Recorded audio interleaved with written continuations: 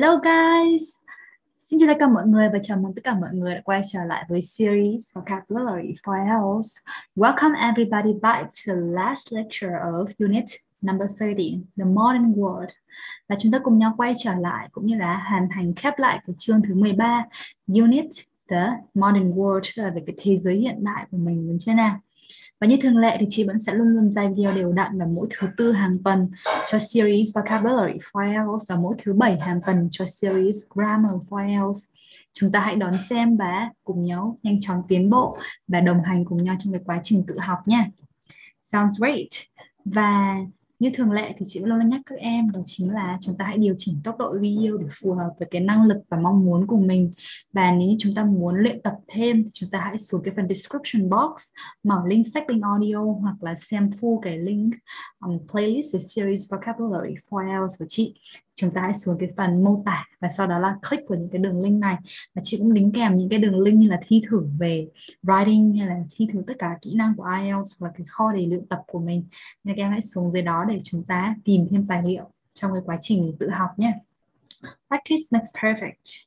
And are you ready? Let's get started into our lecture today. Unit number 13, The Modern World. Và bài học ngày hôm trước chúng ta đã hàng nhau hoàn thành cái phần thứ nhất đó chính là vocab list, tổng hợp tất cả những từ vựng. Chúng ta cũng cùng nhau đi qua cái phần một, đó là globalization, đó là toàn cầu hóa. Và cái phần đầu tiên của changing attitudes and trends, khi mà chúng ta phân tích một cái bài đọc, chúng ta dịch và chúng ta làm cái dạng bài yes, no, đúng không nào?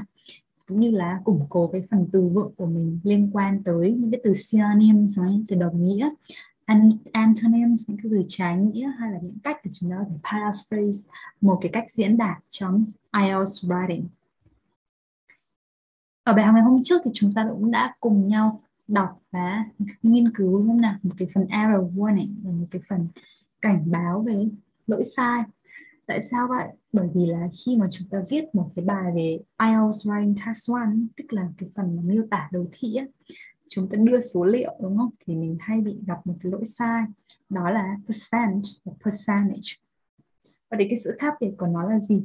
Percent, khi mà nó viết liền hay là nó viết tách thì nó là một cái đại diện cho cái ký hiệu phần trăm, tức là một trên một trăm, đúng chưa nào?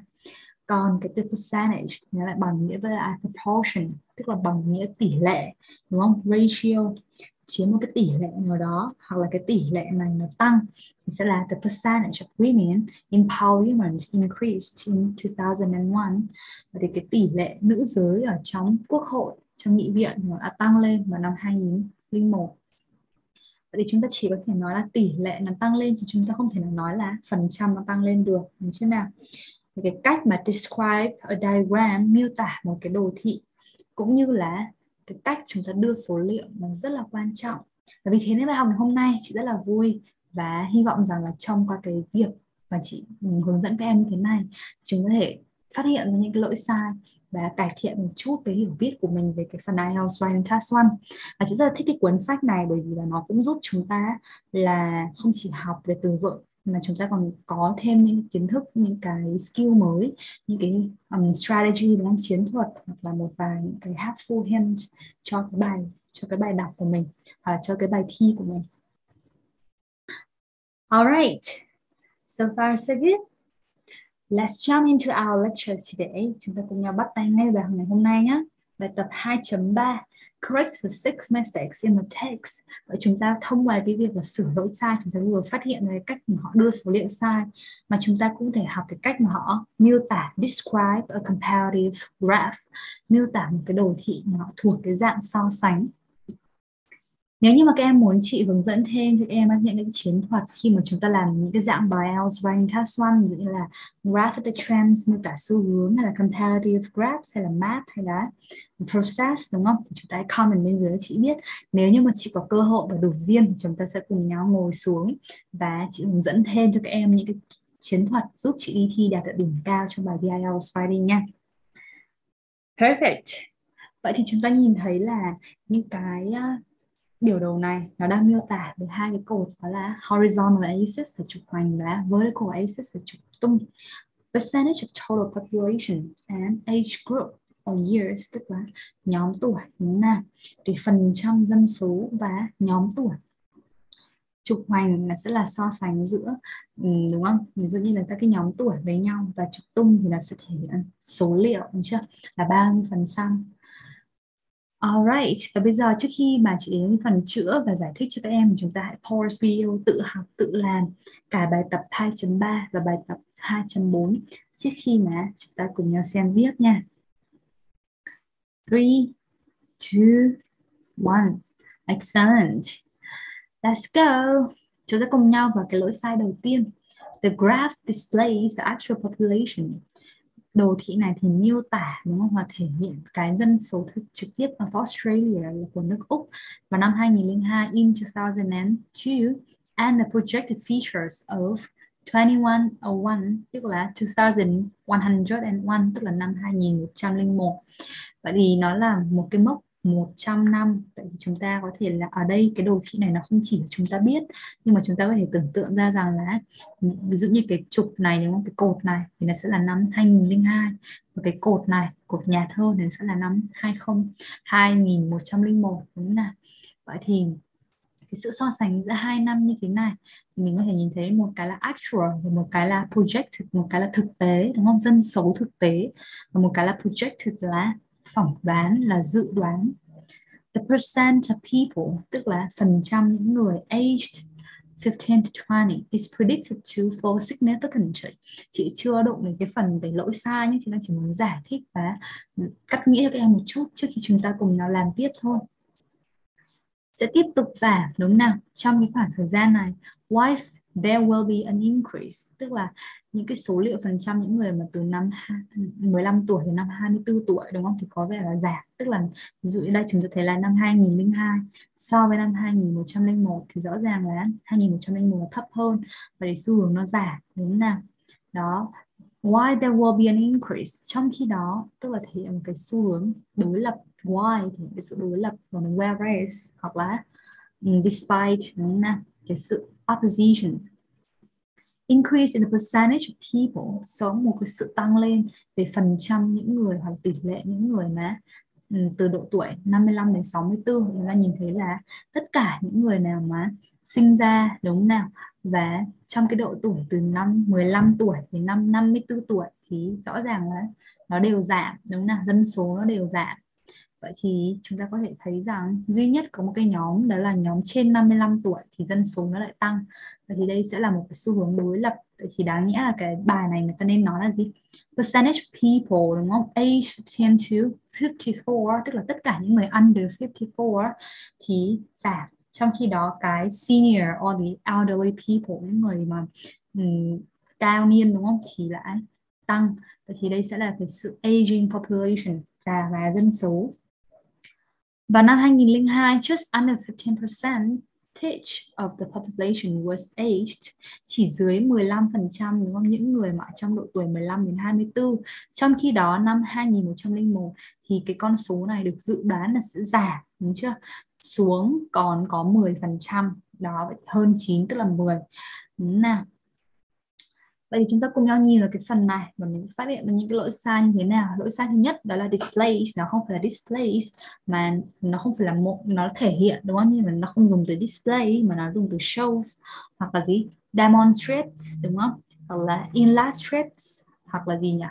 Uhm, ví dụ chúng ta có thể là thể hiện một cái điều gì đấy là highlight đúng không? Là nhấn mạnh đúng không? Vân vân thì nó sẽ chính xác hơn là từ displays. Sounds good. Và chị đã để cho các em một cái phần, những cái dòng chữ bôi đậm như thế này, những cái từ đồng nghĩa với nhau. Đúng chưa nào? Chúng ta hãy take note vào trong vở của mình. Và làm sao để lúc mà mình làm cái dạng bài writing IELTS writing task one mình không còn bí từ nữa. Nó không? Biết là the graph, the diagram shows, illustrates, demonstrates, highlights or indicates, đúng không? Đều mang cái nét như là chỉ ra rằng hoặc là nhấn mạnh rằng một cái gì đấy. Đó, vậy thì chúng ta thấy là cái lỗi sai đầu tiên sẽ là display và chúng ta phải sửa thành shows. Lỗi sai thứ hai đó chính là the projected figures for 2101 hoặc 2101 là năm 2101 và chúng ta phải thấy rằng là những cái số liệu đúng không? Dự đoán cho năm đúng không nào? Chứ nó không phải là của năm. À, dự đoán projected for projected figures for 2101 Tiếp theo lỗi sai mà chúng ta vừa mới gặp ở cái phần bài trước, đúng không nào? Đó chính là cái error warning between percent và percentage. Thì percent nó chỉ là thể hiện cái phần trăm thôi. Còn đây người ta muốn nói là cái tỷ lệ những người mà sinh ra, đúng không nào? Hoặc là đạt cái độ tuổi từ 15 đến 24 thì nó sẽ phải là the percentage of people. Phần trăm tỷ lệ những cái người mà Ừ, trong cái độ tuổi từ 15 đến 24 thì được dự đoán, đúng không? Chúng ta nhìn thấy là khi mà mình nói một cái gì đấy ở trong tương lai thì mình sẽ phải sử dụng một là từ will, đúng không? Đây sẽ là cái cách mà em phải sử dụng, áp dụng cái bài đọc này trong cái phần thi IELTS Writing Test 1 của mình. Đó là khi mà mình miêu tả một cái con số ở trong tương lai thì mình có thể dùng từ will is predicted to, đúng không? Được phỏng đoán được dự đoán. Is projected to đúng không? Được dự đoán. Hoặc là is anticipated to đúng không? thì tất cả những cái từ này đều thể hiện trong tương lai mà chưa xảy ra. Thì được dự đoán là sẽ giảm fall significantly. Thì bằng với fall dramatically. Fall um, như nào? Những cái từ mà nó sẽ thể hiện cái sự drastically đúng không? Giảm rất là mạnh. Đó thì nó sẽ đồng nghĩa với cái từ plummet giảm mạnh đó, trong khoảng thời gian này, trong khi đó thì những người an increase in, đúng là cái, một cái sự tăng lên tăng lên ở đâu đó? Increase in the percentage of people. Increase in, đúng là cách đưa số liệu, đúng chưa? Tăng lên in the percentage of people. Vậy thì cái chỗ percentage này là tỷ lệ những người trong cái độ tuổi này. Thì đã đúng rồi, đúng chưa nào? 2002 just under 15 percent. Ở đây chúng ta muốn dùng một cái ký hiệu, một cái ký hiệu phần trăm và chúng ta viết ra thành chữ là percent. Thì là 15 phần trăm chứ không phải là 15 tỷ lệ, đúng không nào? Of the population was aged thì ở trong cái độ tuổi từ 15 đến 24 trong khi đó thì vào năm 2101 cái con số này is predicted, một lần nữa là thể hiện một cái sự phỏng đoán bằng với là anticipated to drop và giảm xuống cái mức nào thì nó không là drop in, mà nó là drop to, là chúng ta giảm xuống khoảng 10%. So far, so good. Awesome. Vậy thì đấy là cách mình đưa số liệu đúng nào tăng lên một khoảng bằng nào thì sẽ là increase by, nó sẽ khác biệt nhé increase to, tức là tăng, ví dụ là tăng từ 10 lên 20 thì sẽ là increase to 20% nhưng mà So cái sự chênh lệch, the difference between 10% and 20% is 10%, right? So it increased by 10%. Vậy thì cái khi mà mình muốn nói một cái sự chênh lệch giữa hai con số đầu mốc đầu và mốc cuối thì mình sẽ dùng giới từ by increase by 10% hoặc là drop by 10%. Nhưng khi mà chúng ta muốn nói là tăng đến một cái mốc nào đó, đúng không? Thì đến thì phải là to, còn một khoảng nào đó thì sẽ là by. Does that make sense? Great. Vậy chúng ta cùng nhau chuyển tới bài tập tiếp theo, đó là bài tập 2.4. Complete the text with the suitable words from the box. Chúng ta hoàn thành những cái đoạn văn sau sử dụng những cái từ mà trong đoạn hội thoại, trong cái um, the box đúng không? Trong cái ô này. Đối với cái dạng bài gap filling thì chị vẫn nói với các em là chính ta chúng ta phải xác định xem cái chỗ trống đó là nó cần mấy từ đúng không nào? Ở đây thì rõ ràng là mỗi một chỗ trống này người ta chỉ cần một từ thôi, đúng không? Ở trong cái box này người ta đã cho sẵn rất là dễ thì mình không cần phải tự nghĩ ra. Và thứ hai nó là cần loại từ gì? Bởi vì khi chúng ta biết được, xác định nó là loại từ gì thì mình có thể loại được rất là nhiều những cái đáp án nhiễu, đúng không? Thứ ba là đọc những cái từ hoặc là gạch chân vào những keyword ở xung quanh cái từ mà đang missing, đang thiếu đó. Và chúng ta cố gắng cắt nghĩa hiểu nghĩa của nó. Và cuối cùng là chúng ta chọn cái đáp án mà mình nghĩ là đúng nhất. Alright, so the statistics show that thống kê statistics là thống kê nó chỉ ra rằng in many countries the population will decline in the next 15 years. 50 and 15 sẽ khác nhau. 50 là 100 à trong năm 50 năm nữa, 50 năm. Vậy thì một cái nghiên cứu chỉ ra rằng những cái thống kê chỉ ra rằng là dân số sẽ giảm đi trong vòng 50 năm nữa tức là sau khi mà nó reach the peak đạt đến đỉnh là năm ờ, ừ, uh, 2060 đúng không? Trong cái bài đọc ngày hôm trước 2050 chúng ta đã biết được rằng là người ta nói là gì nhỉ? Dân số sẽ làm sao? Reach about 8 billion in 2026 8 tỷ dân đúng không? Và sau đó là 9 tỷ dân vào năm 2050 vậy thì sau đó là dân số sẽ giảm will decline the population of these countries will also age rapidly. Dân số của những quốc gia này thì nó cũng làm sao? Age là chúng ta biết là nó vừa danh từ là tuổi và động từ của nó là già hóa, đúng không? What effect will this have on those countries? Những cái ảnh hưởng gì những cái hậu quả gì sẽ có vào cái đất nước này? Vậy thì chúng ta thấy là cái bài tập 2.3 nó đang giúp chúng ta củng cố kiến thức về IELTS Writing Task 1 và 2.4 chính là phần IELTS Writing Task 2 về cái bài tập về um, viết luận đúng không nào? Một cái essay bàn bạc về discuss about the cause and effect chẳng hạn nguyên nhân và hậu quả. Thì ở đây trên cái đoạn này nó chỉ đưa cho chúng ta những cái hậu quả những cái ảnh hưởng thôi.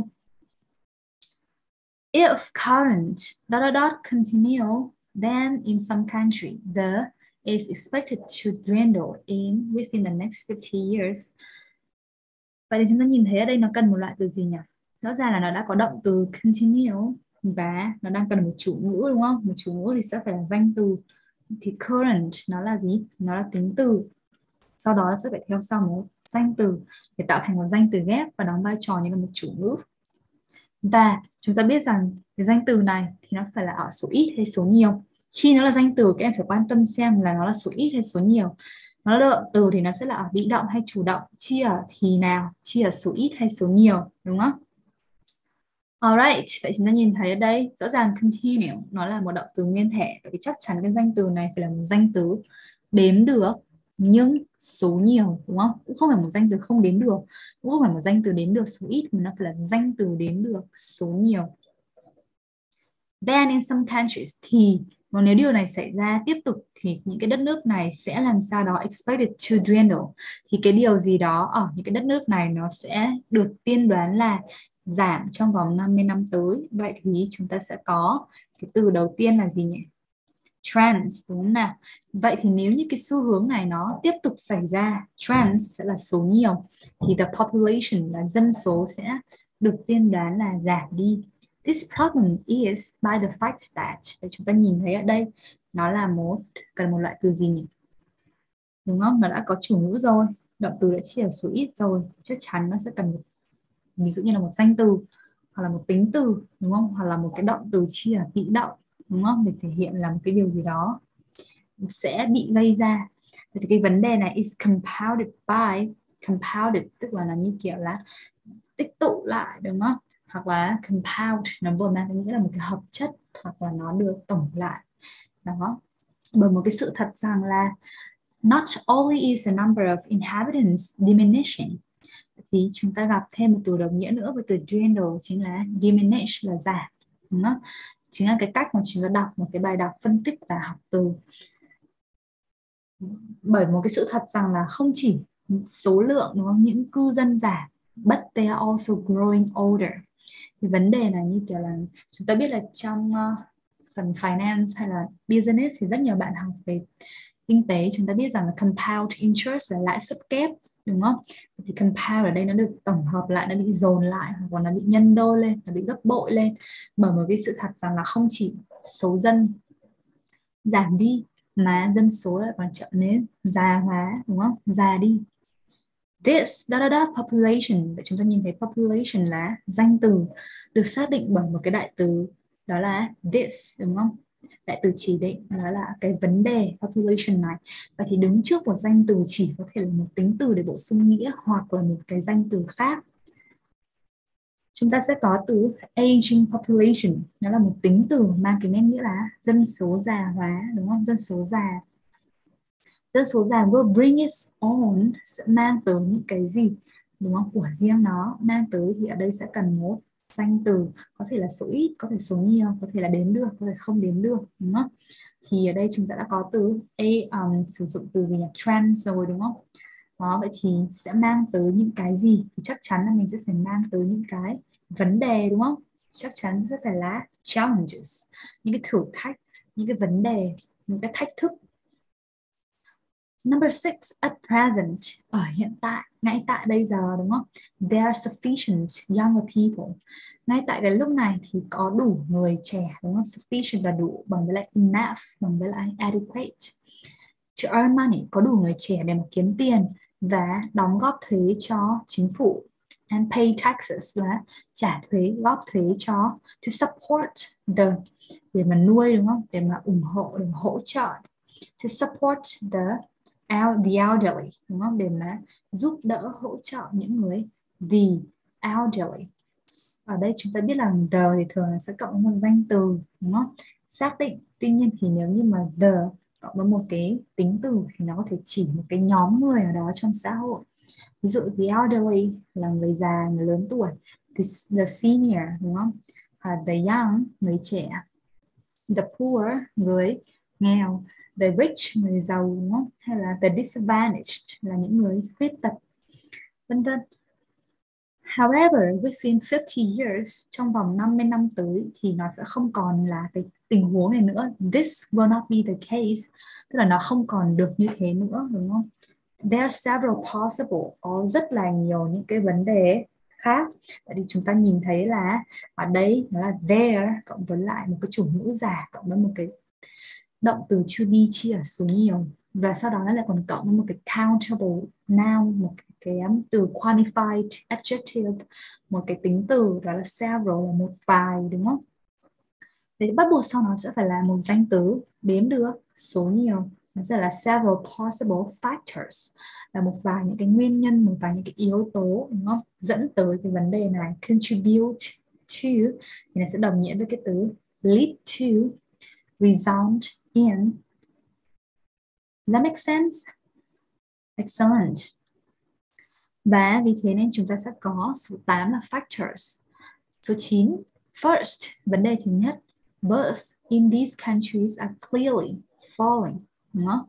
Vậy chúng ta biết rằng là chủ ngữ của nó là birth cái gì đấy đúng không? Và xác định bởi in these countries. Sau đó là động từ to be are chia số nhiều.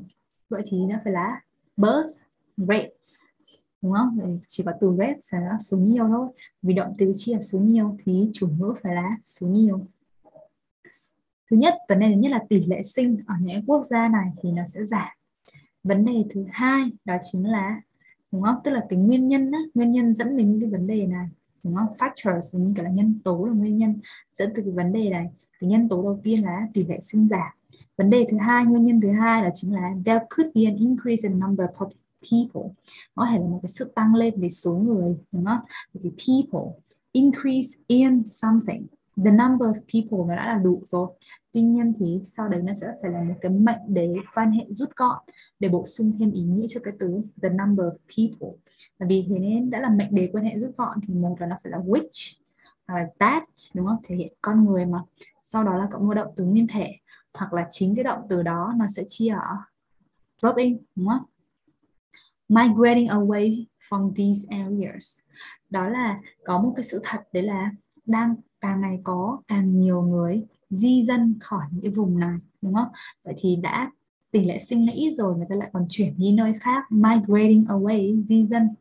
Vậy thì nó sẽ tạo ra một cái vấn đề đó là the insufficient, đúng không? In the young people, in the sufficiency um, between or the disproportion between the young and the old đúng không?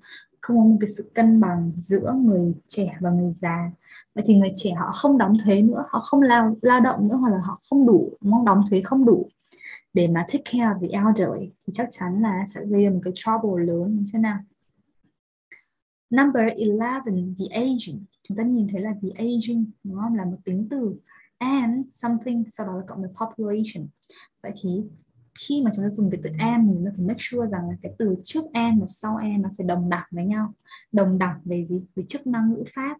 Ví dụ aging là một tính từ, vậy thì sau and nó cũng phải là một tính từ, đúng không? Trước an là một danh từ, thì sau an cũng là một danh từ. Trước an là một danh từ số ít thì sau sau an nó cũng phải là một danh từ số ít trước an là một động từ, thì sau an cũng phải là một động từ. Nó phải đồng đẳng với nhau về chức năng ngữ pháp the aging and declining đúng không? Tức là dân số già đã thế lại còn già hóa. Is expected thì sẽ được cho rằng sẽ được dự đoán rằng là have important implications. Tức là có những cái à, hậu quả đúng không? Hoặc là có những cái tác động for the labor force hoặc là có những cái à, ám chỉ những cái mà um, hậu quả dẫn cuốn dẫn đến cái à, vấn đề trong cái lực lượng lao động đúng không? The quality of everyday life cũng như là chất lượng cuộc sống hàng ngày. Vậy thì đây là một cái dạng bài về cause and effect, nguyên nhân và hậu quả. Và cái phần này thì chắc là nó chỉ là một cái excerpt, là một cái phần cắt ra thôi, một cái phần trích ra thôi. Thì chúng ta đang biết rằng là đang nói về ra là dân số, đúng không? Thì một trong những cái vấn đề đấy chính là tỷ lệ sinh thì giảm đúng không rồi người ta di dân nữa và từ đó dẫn đến cái việc là vừa declining lại vừa aging population Awesome. Và đó là toàn bộ những gì ở bài tập 2.3 và 2.4. Does that make sense? Nếu như các em không hiểu thì hãy đừng quên là để cho chị một cái lượt comment bên dưới và chị sẽ giải đáp cho các em nha.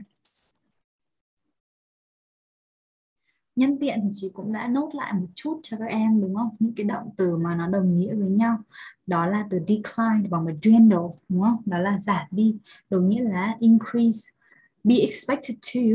Để thể hiện những cái gì là dự đoán, là phỏng đoán thì chúng ta sẽ có những cái từ như là be expected to, projected to, đúng không? Hoặc là be anticipated to thì đều mang cái nét nghĩa đó là được phỏng đoán, được dự đoán, hoặc là is predicted to hoặc là supposed to, hoặc là assume to. Và sau đó tất cả những cái từ này thì nó đều cộng một danh từ, một động từ nguyên thể. Đó, và nó sẽ bằng với lại will, cộng với lại verb, một cái dự đoán gì đó trong tương lai. Và chúng ta có từ continue to, bằng với lead to, bằng result in, bằng cause đều mang cái nghĩa là dẫn tới, gây ra, tác động tới. Sounds great. Và cuối cùng chúng ta cùng nhau chuyển tới cái phần nội dung cuối cùng của bài học ngày hôm nay. Đó là cái phần rồi, pronunciation. Phần nói về phát âm đúng nào? Which of the patterns from A to F matches the number of syllables and the stress pattern of the words below?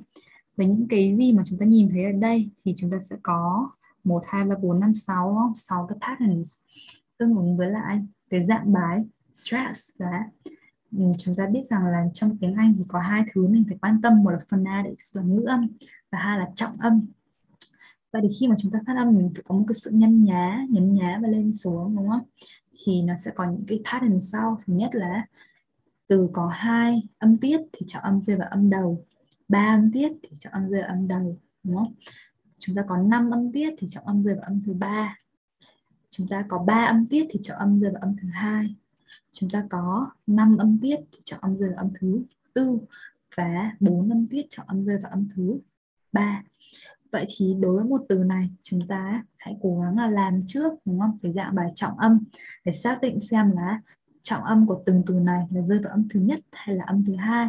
Và chúng ta có một ví dụ, đó là cái từ global, nó là một tính từ. Thì trọng âm nó sẽ rơi vào âm thứ nhất khi mà nó có hai âm tiết.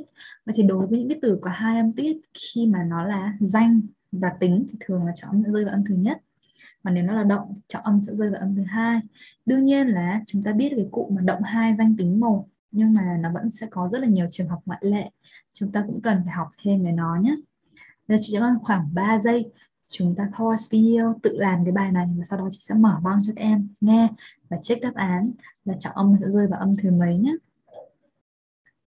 Perfect. Three, two, one. Let's go. Perfect. So now let's listen to recording number 13B and try to correct your mistake. Recording 13B. Global. Globalization. Implication. Isolation culture, domestic, international, local, skeptical, modernization,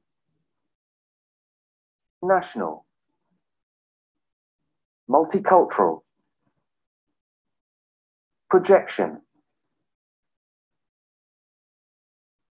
Perfect. Và nếu như chúng ta vẫn chưa chắc chắn lắm thì em hãy xuống cái phần description box của chị và chị sẽ um, chúng ta có thể tải audio và nghe lại một lần nữa nhé. Dựa vào những cái nguyên tắc của trọng âm thì chúng ta biết rằng là cái những cái đuôi tận cùng là nilation này đúng không? Globalization, indication thì động từ thường là sẽ rơi vào sorry trọng âm thường là sẽ rơi vào cái âm ở ngay trước nó ngay liền kề trước nó đúng không nào? Hay là đuôi x cũng vậy, trọng âm thường là sẽ Ừ, rơi cách nó một âm, đúng không?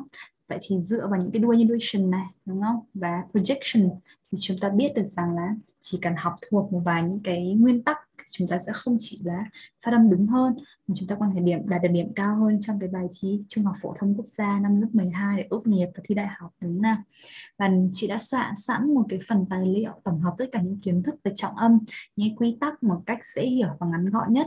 Nếu như các em nào mà có hứng thú hãy comment với chị biết chị sẽ email cho các em cái phần tài liệu mình sẽ tự soạn nha. Sounds great. Vậy thì chúng ta cùng nhau vào một cái phần đáp án, đó chính là chúng ta để ý rằng những cái gì mà mình làm, đúng không? Những cái gì mà chúng ta nghiên cứu thì mình sẽ cần phải cẩn thận một chút và giải thích tại sao nó lại như thế thì mình mới có thể nhớ lâu và hiểu sâu. Vậy thì A là trọng âm rơi vào âm thứ nhất, đúng không nào? Với những cái từ nào? Thì chúng ta có từ đầu tiên đó là global. Từ thứ hai là icon thì chị không thấy ở đây. Thì nhưng mà mình có thể có cái danh từ này, đúng không? Thứ ba là local cũng là một tính từ và thường thì động hai danh tính một. Trọng âm sẽ rơi vào âm thứ nhất đối với danh từ và tính từ. Cho những cái từ mà chỉ có hai âm tiết. Thứ ba là culture đúng không? Cũng thế thôi. Đó là danh từ, trọng âm rơi vào âm thứ nhất. Và thứ hai nữa là vì sao? Vì cái từ culture thì cái âm ơ nó suy giảm thành âm xoa vì anh trọng sẽ không rơi vào nó, mà sẽ rơi vào cái âm trước nó. B chúng ta thấy là cái pattern thứ hai, cái xu hướng thứ hai, đó là đối với những cái từ mà có ba âm tiết và trọng âm rơi vào âm một. Chúng ta có từ national và skeptical. Vậy thì đó là những cái từ mà trọng âm rơi vào âm một, đúng không? Thứ ba, đó là, bởi vì sao mà xuất phát từ cái danh từ nation, trọng âm rơi vào âm thứ nhất, đúng không? Và vì thế nên là tính từ của nó là national, trọng âm rơi vào âm một thứ hai nữa là mình nói là vision đúng không? Là âm ơ. Vậy cho âm chỉ rơi vào cái âm ngay liền trước nó. Thứ ba, chúng ta có cái pattern C, đó là những cái danh từ mà có, hoặc là tính từ mà có năm âm tiết. Nhưng mà chọn âm sẽ rơi vào âm thứ ba, international, đúng không? Thì rõ ràng là vision thì chọn âm sẽ rơi vào ngay cái âm liền kế nó, ngay đứng đằng trước nó. International multicultural vậy thì chúng ta nhìn thấy cái điểm chung của tất cả những cái từ này là gì nhỉ? Đó là nó có cái gì? Có cái tiền tố, đúng không? Tiền tố international. Thì tiền tố là inter, tiền tố multi, đúng không? Multinational. Thì cho âm sẽ rơi vào cái âm gốc của nó. Là cultural national. Số 4 chúng ta có từ d pattern d cho âm rơi vào âm thứ hai, đối với từ có ba âm tiết domestic. Vậy thì trọng âm nó sẽ rơi vào âm âm thứ hai đúng không? Đó, domestic hay là projection. Là trọng âm rơi vào âm thứ hai. Và y là trọng âm sẽ rơi vào âm thứ tư. Và những cái từ như là globalization thì nó tận nguồn thế nên là từ sẽ rơi vào ngay trước nó. Hoặc là modernization rơi vào âm thứ tư trong số 5 âm tiết. Cuối cùng là F là isolation trọng âm rơi vào âm thứ ba ngay liền kề trước nó implication nó population thì đều là có bốn âm tiết và trọng âm rơi vào âm thứ ba ngay trước đuôi shin. That make sense? Excellent. Và đó là toàn bộ những gì chúng ta học ở trong unit thứ 13. Chúng ta cùng nhau đi qua phần vocab list, đi qua phần vocab về gì nhỉ? Về globalization, đúng không? Phần nghe, vocab về changing attitudes and trends với phần đọc, phần chúng ta học về biểu đồ đồ thị, sửa lỗi sai và cuối cùng là pha đâm. Và again, thank you so much for watching and see you in the next video. Goodbye and have fun.